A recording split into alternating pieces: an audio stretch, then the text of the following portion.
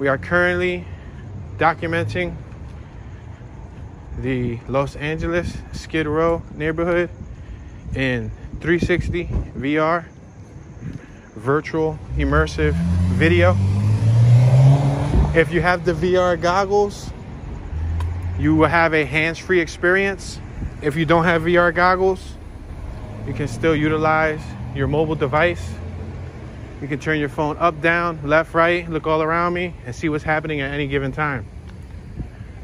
If the image quality looks a little bit grainy, that's because YouTube automatically recommends the footage in the lowest resolution. You can, that's a large roach. That was a huge water bug crossing the street. That thing was like, like that big, and he was out too. But um, you can adjust it based on your internet quality. Just go to your YouTube browser, click the little settings uh, gear wheel, and then you can change it, whichever one you like best. Usually 1080 is the sweet spot.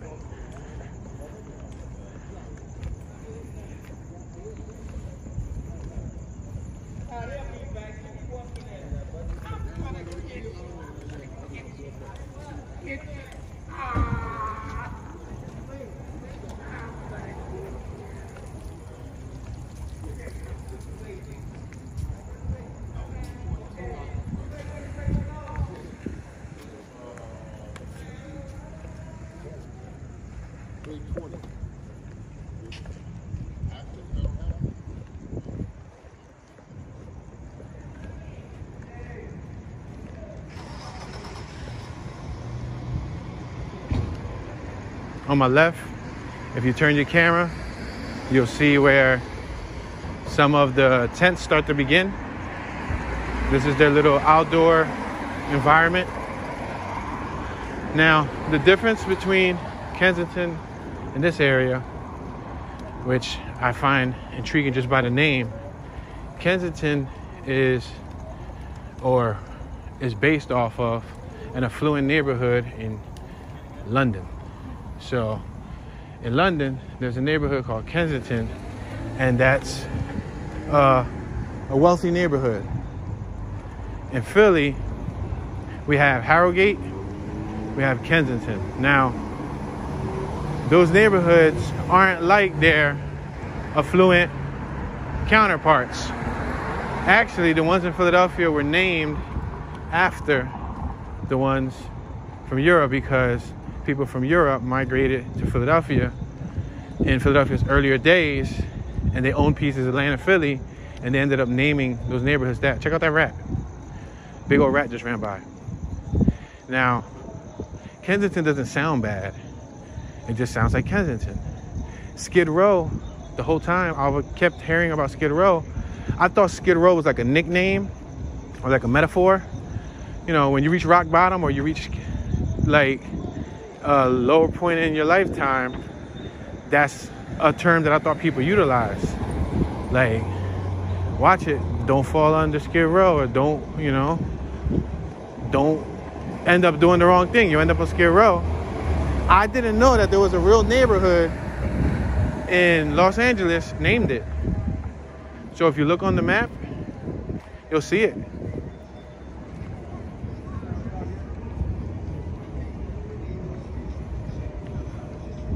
That's the big difference. I think this name's a lot harsher to be a neighborhood name. And for it to actually live up to its to its uh, title. You know what I mean? It lives up to its title.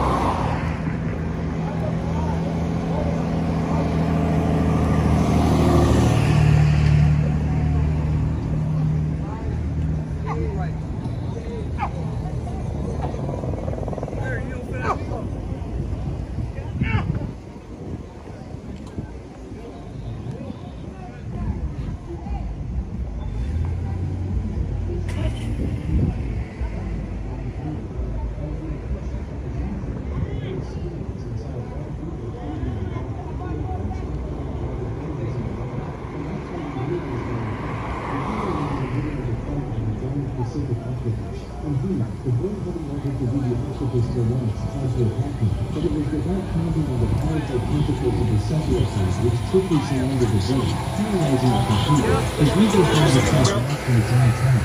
Realizing that the bird of prey was likely to drown, the crew decided to intervene and save it from the giant octopus's formidable tentacles. The fishermen used a pole to bring the bird back to the boat. The to fish out animals, before separating them and putting the octopus back in the boat. Well, it seemed like the tentacles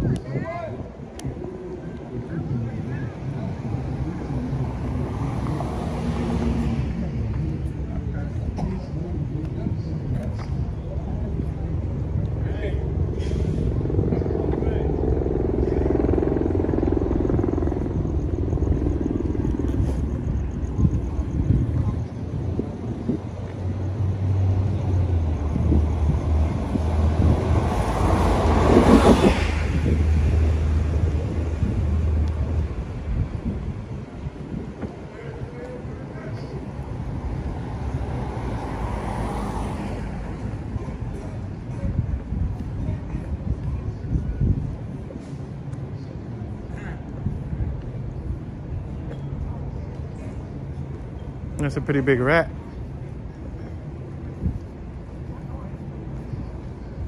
That rat was out.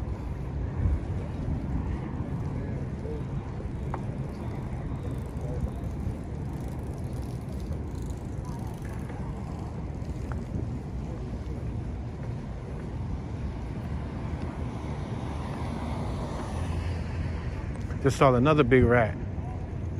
Since I've been walking, I literally just saw three huge rats living amongst the people that are out here.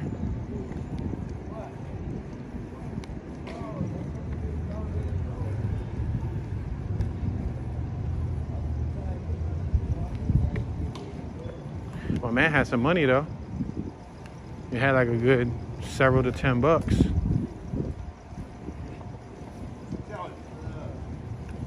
Oh yeah, there you go, man. This boy here is, Oh, is- man. is way out there. Then I see that damn game. I had to see it.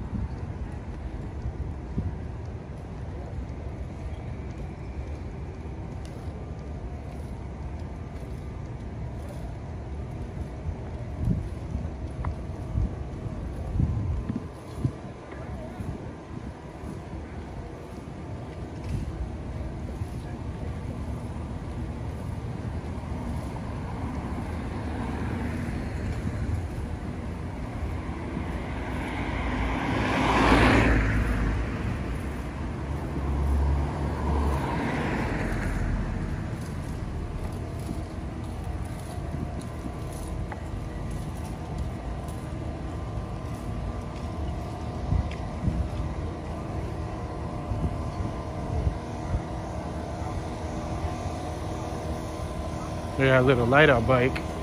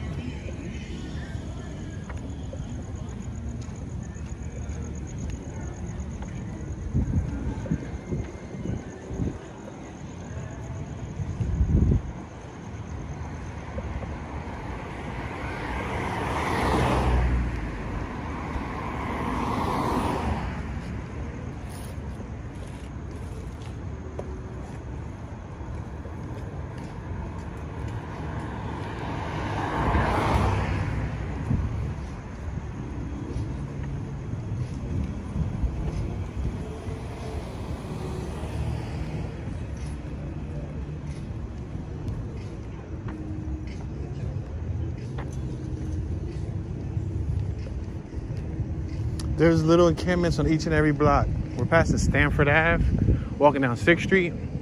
On each and every block, there's a variety of these tents. These little homemade tents that are out everywhere, guys. Now, Philly, I was speaking about that briefly in the driving tour. In Philly, they're not smart enough to create these large home like tents, shed like in a sense. Because a shed is 10 by 10, 10 by 12. A lot of these appear to be 10 by 10.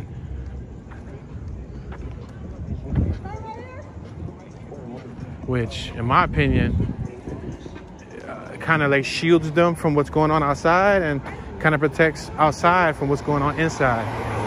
The people outside don't get a chance to see it. No, I'm talking about you're not a leader. Is she a, is she a pastor? Is she the who the head pastor? Coordinator. So many places I could go. I could go right, I could go left.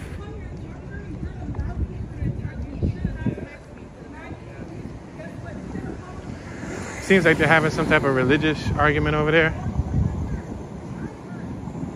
It's kind of late to be having a religious argument out here on Skid Row.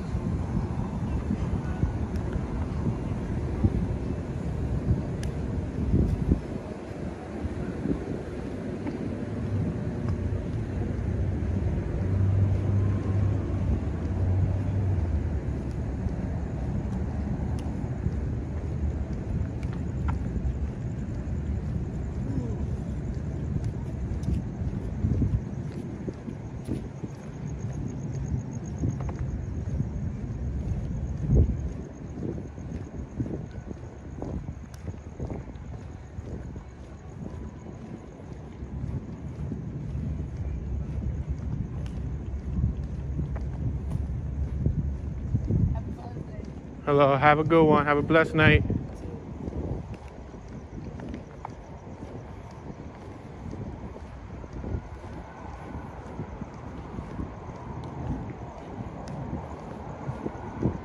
Yeah, I think we're a couple days off of Happy Father's Day. And I just, you know, wanted to be friendly in return, but I don't really have children. Only child I have, I guess, is probably like my dog, Jersey. I don't have any children. A couple people told me that on Father's Day. Happy Father's Day. I guess it's something you say to males, but I don't really have a child, so I ain't have any kids yet, so.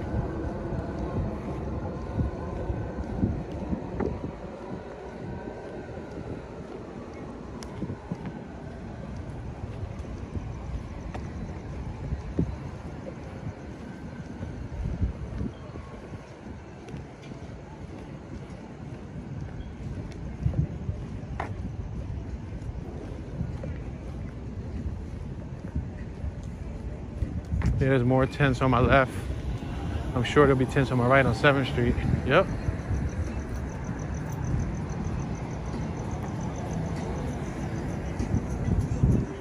So as I'm walking, you guys can feel free to look around, move your device around. Like I said, if you got the VR glasses, you're getting the best experience. All you got to do is put on the headset and just look around. Oh, dog's taking a poop. What's up, doggy? You alright, boy? He looks constipated. That was a blue nose pit. That was a blue nose pit bull. Oh, they listen to the music on the left. They got the banger on. They got the system dumping. Got a nice little porta potty out here. At least they got that. Oh yeah, they got one on this corner too. Yeah, that block, all these little blocks. Some have more than others.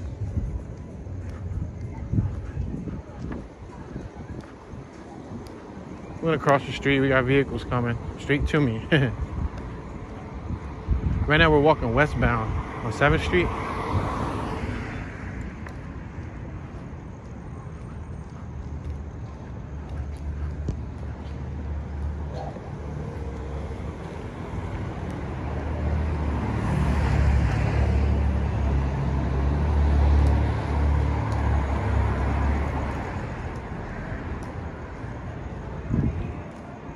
This is so close to the heart of the city. It's amazing how close this is to the heart of the city, guys. And what you guys just saw was a pinch of what's really there.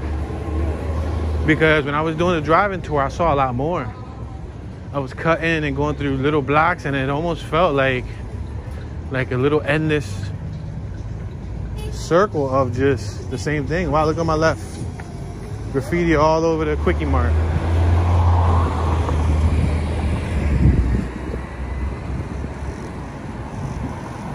Right, we're on 7th and San Pedro.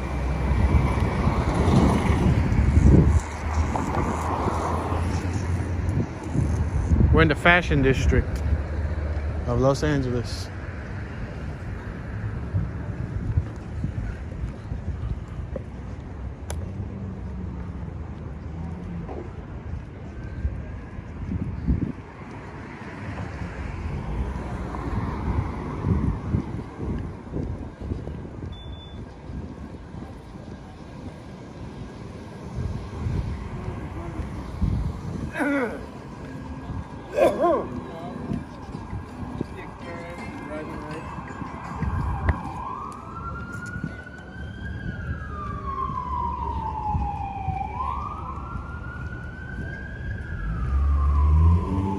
Gonna walk down San Julian.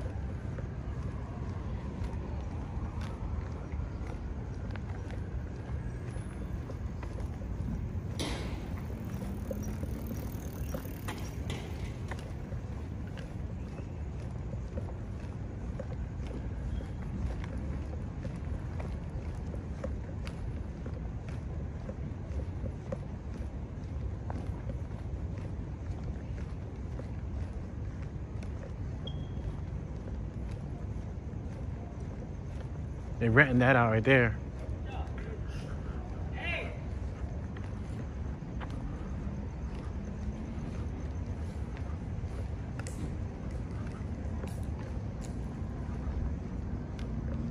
You're going out the bed.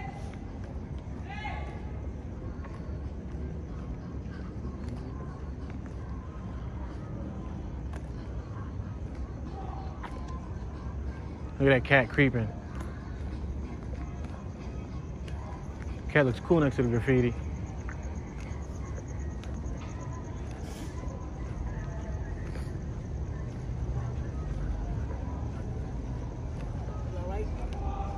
Have a good night, man.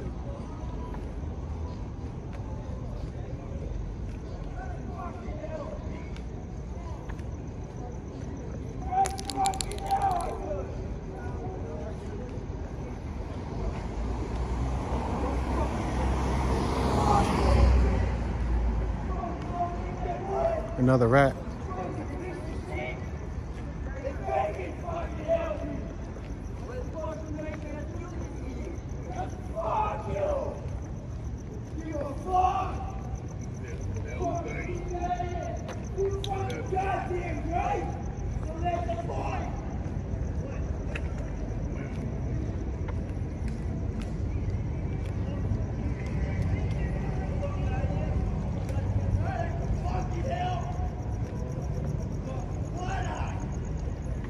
You know what it reminds me of? It reminds me of when you play GTA and you get random people that say random comments. When you go by like different areas of GTA, that's how it be in real life. And GTA is based off of the Los Angeles map and I think Los Angeles lifestyle. So in GTA in the game, you might be walking by and somebody might say, "Hey, f f you," or "What you looking at, itch?" You know what I mean? That's how the game is. But if you notice, as we're walking by, you hear different sound effects. You have friendly people, you have people that might not be so friendly.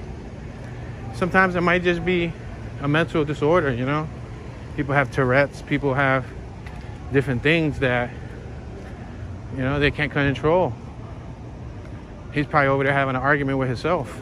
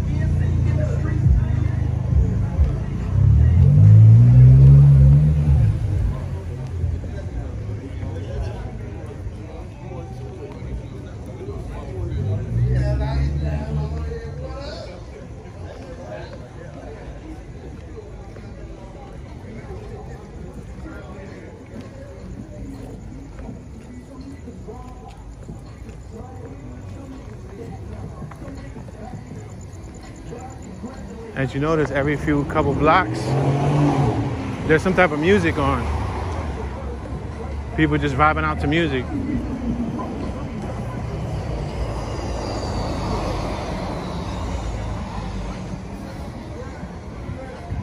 I'm not trying to pick up a clean sound bite, so so I'm walking away from the music.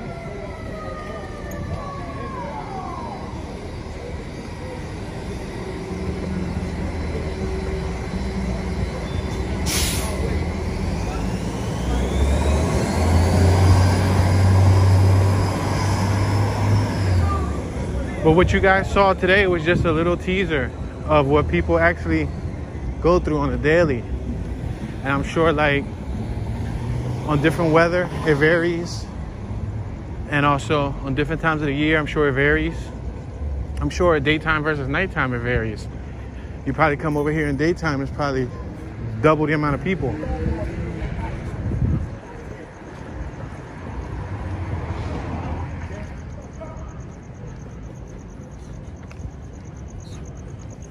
But I just wanted to document this. Document this. I don't think anyone's ever documented the Skid Row area in 360 at nighttime, at least.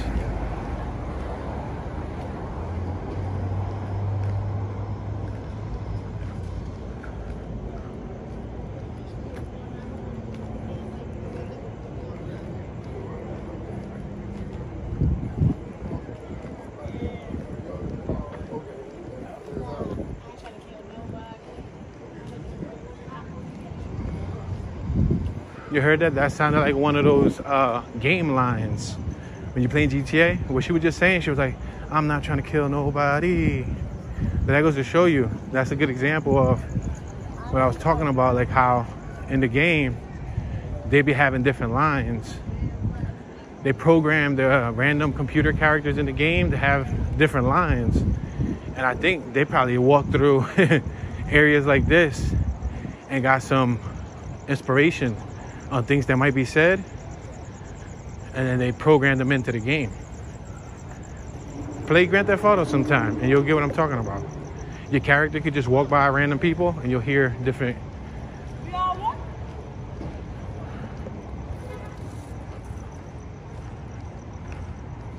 Yeah, I kind of stood quiet there in case she gave, she came with her own, um, you know, lines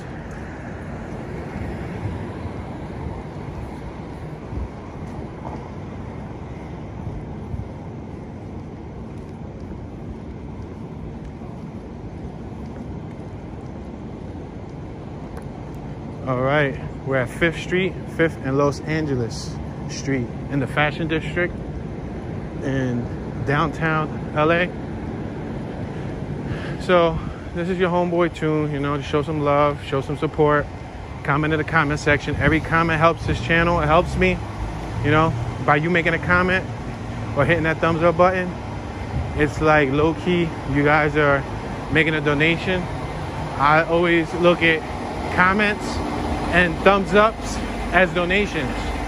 If you want to go the extra mile, you can share this video, share it with a friend or family member. share it on the social network. Copy and paste the link. You can email it to anyone. You can text it to anyone. That'll be great help. I would really appreciate that.